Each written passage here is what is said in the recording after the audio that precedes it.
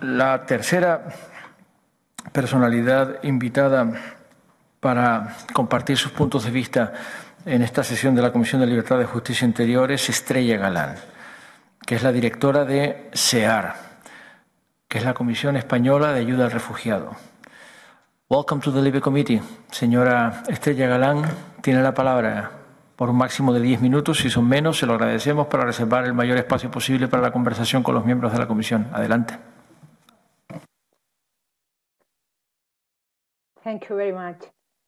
Muchas gracias, señora comisaria. Muchas gracias, señor presidente de la Comisión LIBE. Señor presidente del Gobierno de las Islas Canarias, señores parlamentarios, buenas tardes a todos y a todas. En primer lugar, queremos agradecer la invitación a esta comparecencia para poder compartir con ustedes nuestras preocupaciones y propuestas respecto a la gestión migratoria que se está llevando a cabo actualmente en las Islas Canarias. La Comisión Española de Ayuda al Refugiado, eh, CEAR, es una ONG que lleva más de 40 años en España defendiendo el derecho de asilo y ofreciendo refugio a personas que llegan a nuestro país en busca de protección internacional. Llevamos trabajando desde hace más de 35 años en las Islas Canarias, por lo que conocemos muy bien el fenómeno, codo con codo con las personas migrantes, solicitantes de asilo y refugiadas, y hemos sido testigos activos de las múltiples políticas que allí se han ido aplicando a lo largo de los años. Por ello, en esta ponencia, perdonen, en esta ponencia queremos compartir con ustedes nuestra experiencia y nuestra óptica desde lo que allí está sucediendo desde el trabajo diario en primera línea. La ruta de las Islas Canarias no es nueva en el mapa de flujos migratorios y en eso quiero eh, matizar algunas de las cuestiones que ha planteado la comisaria diciendo que se abría una nueva ruta. Tras la fuerte afluencia que se produjo en 2006, que ya ha citado el presidente del Gobierno canario, cuando llegaron más de 31.000 personas a las islas, las llegadas por mar han estado siempre presentes allí. Por tanto, como punto de partida, no se puede hablar de estar viviendo una situación de emergencia, sino un fenómeno estructural con diferentes ritmos de afluencia en el tiempo y como tal hay que abordarlo. Abordarlo desde la emergencia es ya el punto eh, de partida erróneo que nos ha llevado a la situación actual. Centrándonos en la actualidad, es en septiembre de 2019 cuando se comienza a detectar un incremento de llegadas provocado por el cierre de la ruta del Estrecho y el mar de Alborán.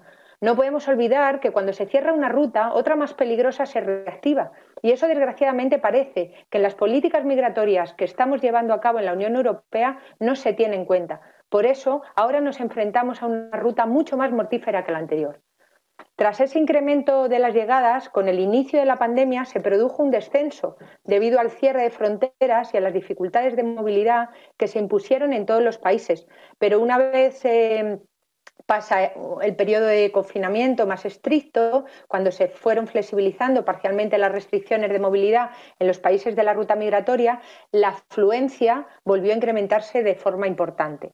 En este contexto, el COVID ha sido, sin lugar a dudas, un factor que ha incrementado los flujos migratorios habituales por su doble impacto en origen. En primer lugar, la pandemia ha cerrado muchas de las rutas terrestres que las personas en tránsito solían realizar para desplazarse entre países, haciéndose imposible el acceso a otros puntos de salida de las costas, como por ejemplo los vinculados a la ruta del Mediterráneo provocando así que las personas se vieran obligadas a quedarse en los países de la fachada atlántica, como son Mauritania, Senegal, Marruecos o Gambia, y con la única opción de recurrir a la ruta canaria para salir de allí, pese a ser una de las más peligrosas, como hemos dicho anteriormente.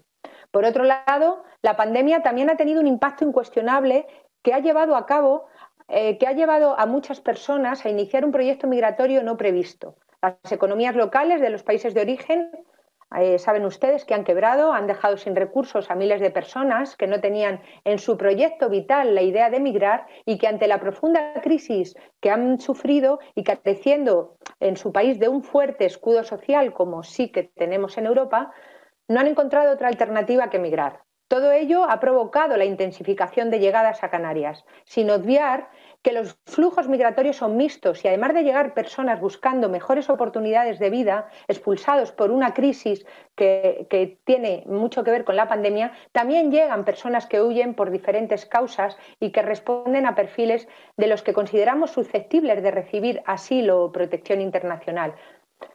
Y en este sentido voy a, dar algún dato que a los que hacía alusión la comisaria John Hanson, preguntando cuántas personas de las 23.000 que han llegado serían perfiles o han solicitado asilo, perfiles de protección, han solicitado asilo. Pues sorprendentemente, de esas 23.000 llegadas a las Islas Canarias, solo 343 han solicitado asilo y son de origen africano. Esto no responde a la realidad, responde a que muchas personas no quieren quedarse atrapadas en Canarias y una vez encuentran posibilidad de llegar al continente es cuando formalizan su solicitud de protección internacional, porque ven que solicitando asilo en Canarias pueden quedarse atrapados allí. Y ustedes saben, igual que nosotros, que Canarias no es su destino final. Ellos no quieren quedarse en Canarias, tienen un proyecto migratorio mucho más amplio. En todo caso, volviendo al, al tema de la pandemia, nosotros somos conscientes de que eh, la pandemia ha sido un enorme desafío para la gestión de estas llegadas y nos consta que se han hecho grandes esfuerzos por parte de las autoridades españolas para ello, pero no nos puede servir como disculpa para justificar determinadas malas prácticas que no son tolerables en el marco de la Unión Europea. Lo sucedido en el puerto de Arguineguín, que para que no sepan lo que es, es el pequeño puerto de un pueblito de la, de la isla de Gran Canarias, donde en su muelle llegaron a hacinarse más de 2.600 personas, pese a que su máxima capacidad era de 400, no puede repetirse. Vimos miles de personas hacinadas en un muelle sin condiciones mínimas ni distanciamiento social necesario, sin garantías de acceso a asistencia letrada e incumpliéndose los plazos de detención establecidos por la ley hechos que fueron constatados y denunciados por multitud de instituciones y organizaciones nacionales e internacionales. Entre tanto, lo que se proyectaba al exterior era una imagen de alarma, de descoordinación, que ha provocado un miedo y un rechazo muy preocupante en la población local, dando como resultado reacciones que, aunque no son el sentir de la mayoría de los canarios y canarias, que son un pueblo absolutamente acogedor, encuentran un gran altavoz en las redes sociales y en determinados medios de comunicación que lo fomentan con mm, no muy loables intereses. Hay que tener en cuenta que la economía canaria, ya lo ha dicho el presidente, la economía canaria depende principalmente del turismo. Un 35% de su PIB depende de esta actividad.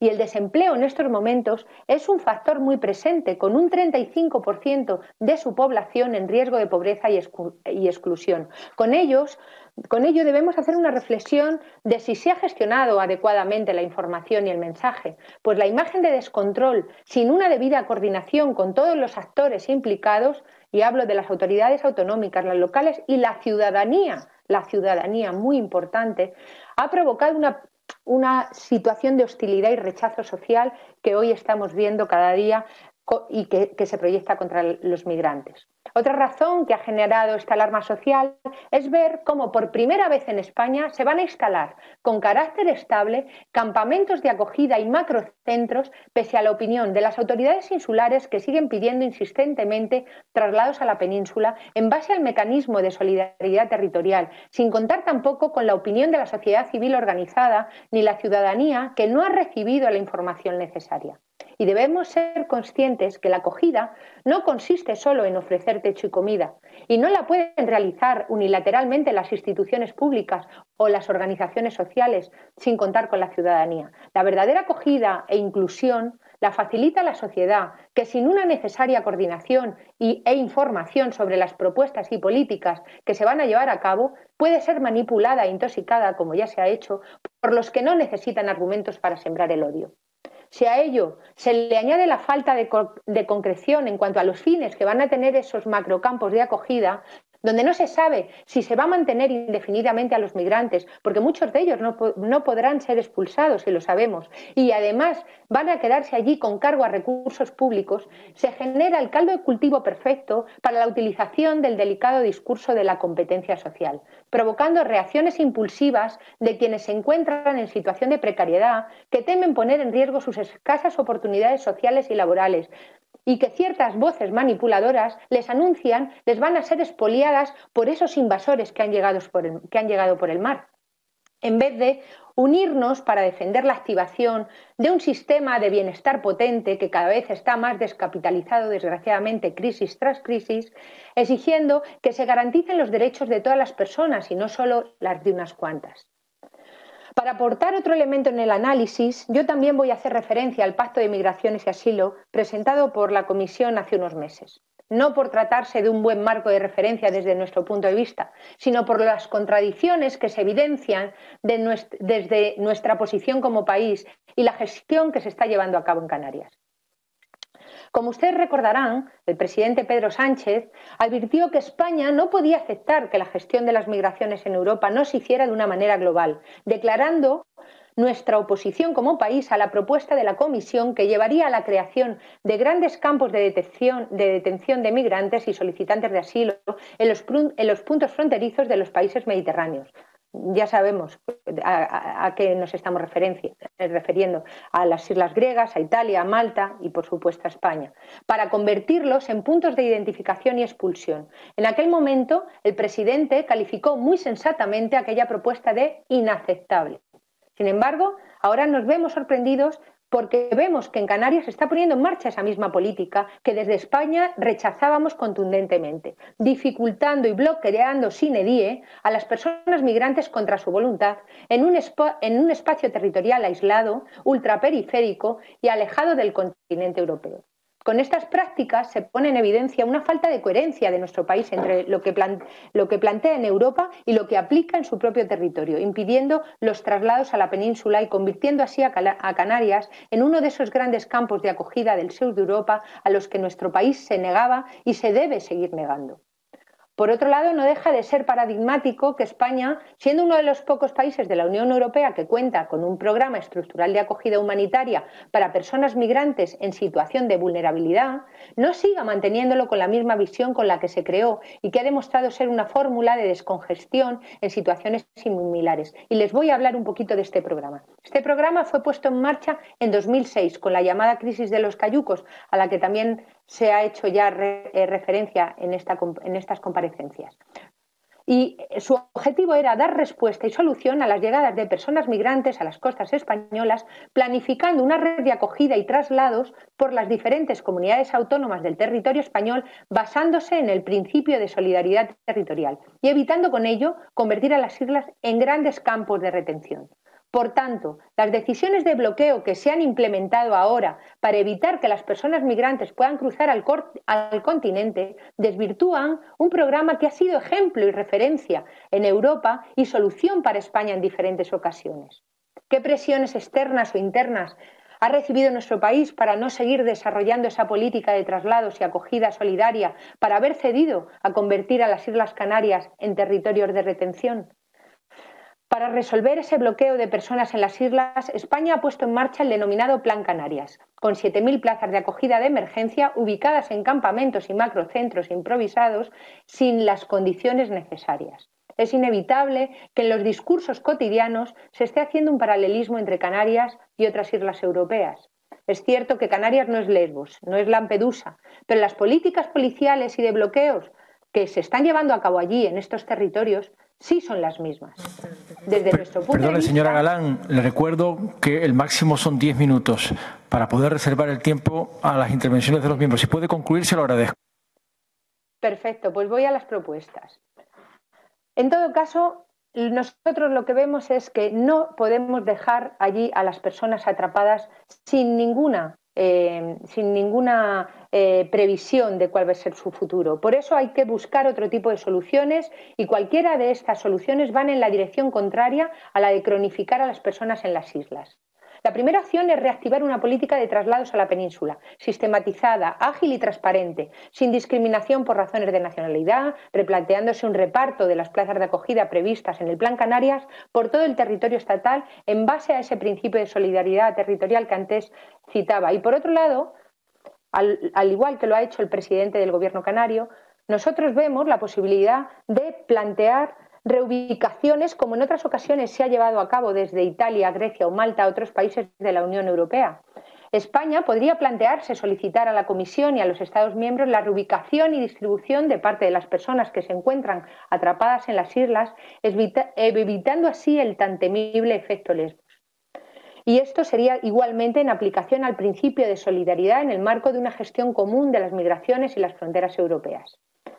Con ello, eh, bueno, sin ir a más detalles, vemos que todavía estamos a tiempo de no caer en los errores de políticas que ya han demostrado ser un fracaso en otros territorios insulares europeos, reorientando un modelo de gestión migratoria que tenga principalmente un enfoque de derechos. Muchas gracias y disculpen la extensión.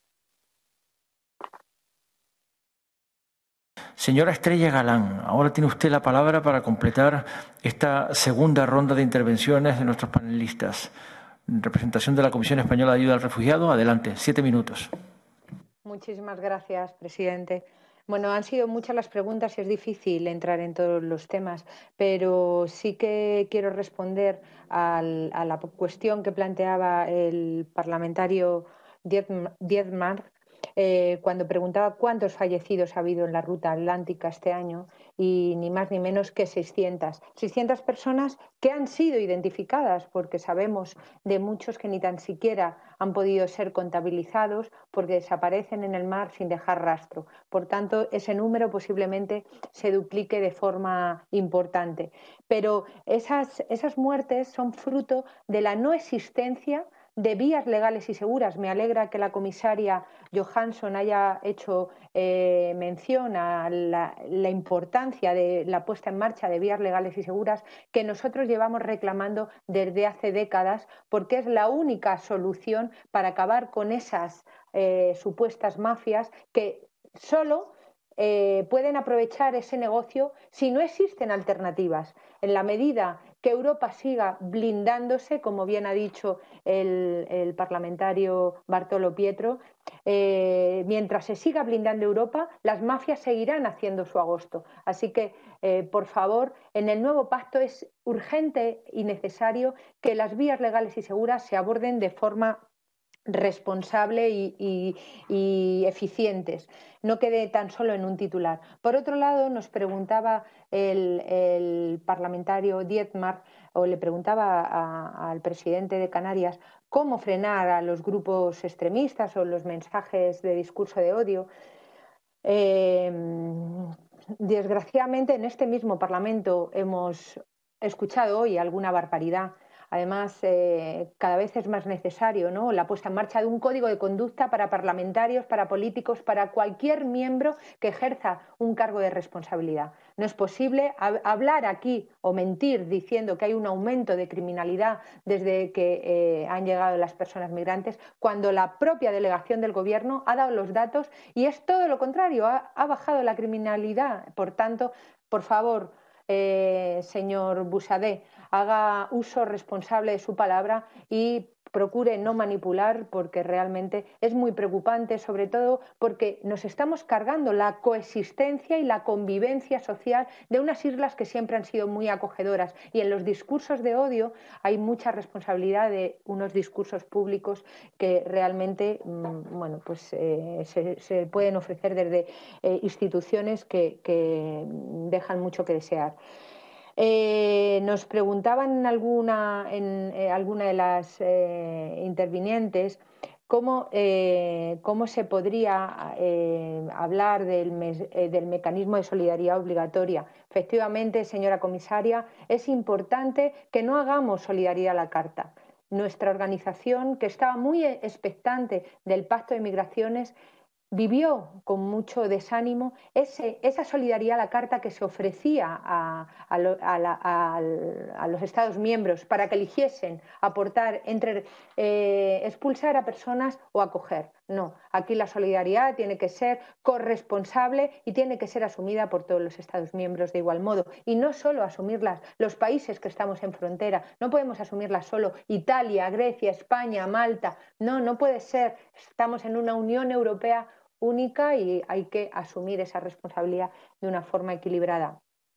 Yo quiero hacer aquí, para cerrar, eh, quiero hacer un llamamiento o, trasladar nuestra preocupación a, la colaboración con terceros países en la firma de convenios y acuerdos, ¿no? países en los que no se respetan, desgraciadamente, los derechos humanos.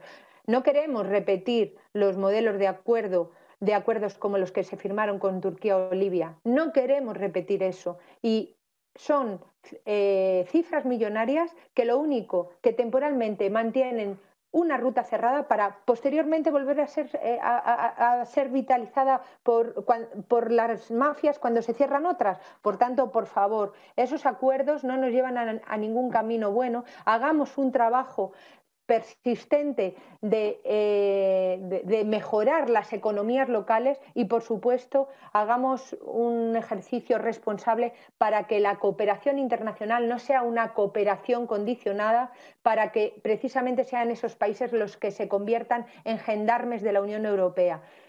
La responsabilidad de nuestras fronteras es nuestra y desde la Unión Europea, bajo el marco de respeto de derechos humanos, hay que ejercerla.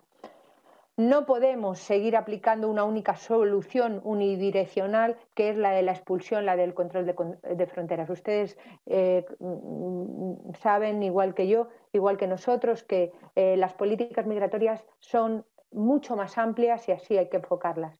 Tenemos que construir juntos un futuro inclusivo basado en la justicia social, con unidad de acción, con corresponsabilidad, como pedía a gritos el presidente del gobierno canario, porque entendemos de sobra lo que están viviendo eh, eh, con esta presión migratoria. Y, desde luego, todas las medidas deben ser estructurales y no coyunturales, como decía al principio de mi ponencia, con una visión de largo plazo. Muchas gracias.